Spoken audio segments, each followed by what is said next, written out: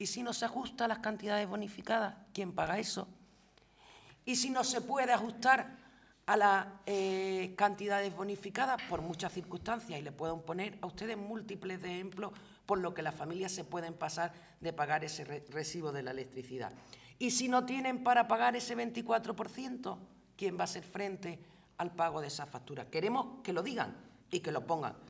Pues bien, va a ser, como digo, de nuevo este partido que tiene vocación de gobierno y que tiene responsabilidad con los gaditanos por ser el partido mayoritario, el que de una forma seria, responsable, indique al equipo de gobierno cómo se hacen las cosas. Lo tuvimos que hacer con el EDUSI, no nos escucharon y tuvieron que hacerlo al final, en parte como nosotros decíamos. Y en esto va a pasar lo mismo. Desgraciadamente tenemos que indicarles cómo se hacen los procedimientos y cómo se, uno justifica el gasto de dinero público y cómo intentamos evitar además que se generen chiringuitos en Eléctrica de Cádiz.